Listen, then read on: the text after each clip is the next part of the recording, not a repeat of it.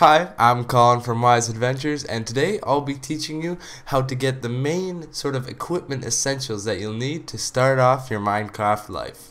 Alright, to start off with, you're going to be spawned into a world, and these worlds will differ. It won't be exactly like this, but most likely you'll spawn near some trees. So what you want to do straight away is start banging at the trees with the left click of your mouse, and no matter what mouse, it'll always be left click. Um, in the options, you can always change that if you prefer, but for now, we'll keep it simple and say that with the left click, you just have to aim your little cursor at the tree piece, and with the click of the mouse, continuously holding it, the tree will break and give you oak wood. So, from here, you're gonna try to find a spot, an open spot, so anywhere doesn't matter. And what you're gonna do is you're gonna left click and drag into your crafting tab. From here, it'll show that you have now wood planks, and to get these wood planks, which are very necessary in order to craft some of the main equipment pieces which you'll need, you just left click and drag. Now you see that there's still five pieces, and for each piece of oak wood, you get five planks, or four planks. So from here, what you want to do to quicken the process is you click the shift on your keyboard and then left click on the planks and they'll automatically teleport over into your inventory.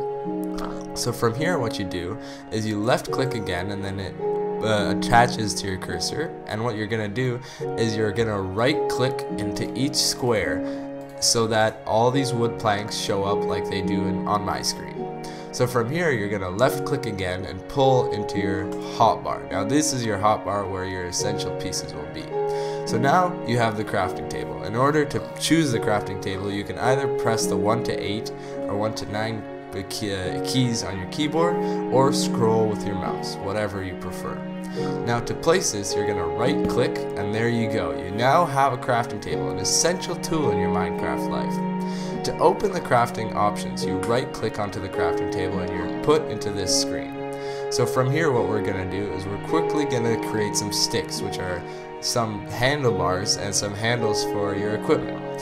So from here we're going to right click and right click in this formation and there you go. You have sticks so you drag those out. Now I know we're going to need some more so I'm going to do that again and there we go. We have some more. Left click and right, left click again to place it in your inventory.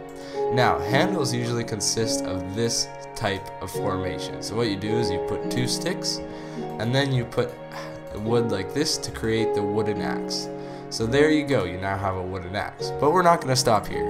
I'm also going to teach you how to make the pickaxe. So again, you put the formation of the sticks like this, put four here by right clicking to put them into the slots, and there you go, you have a pickaxe two more equipment pieces and you'll be ready to start your Minecraft life. So here again, we put the two sticks in this formation, then take the plank, just a single one, and we create the wooden shovel.